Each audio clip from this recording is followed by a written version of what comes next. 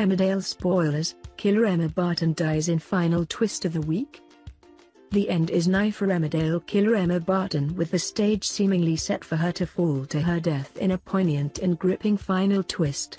After a year of concealing her guilt over James' death, Emma's saga has come full circle, and a fitting ending for her to die in a similar way to James seems to be on the cards.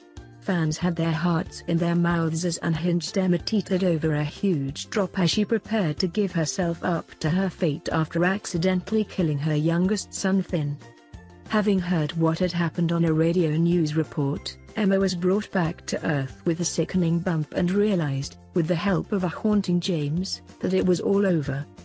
The beginning of each episode has hinted that Emma will meet a sticky end as it showed her lying on her back with a spaced out look and blood forming from her nose.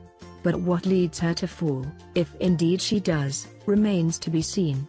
Gillian Kearney will be departing her role alongside her co-star Joe Gill as the long-running story arc finally reaches its shocking conclusion but there is more emotion and heartbreak to play out for Emma first as she reflects on her mistakes and her deplorable actions.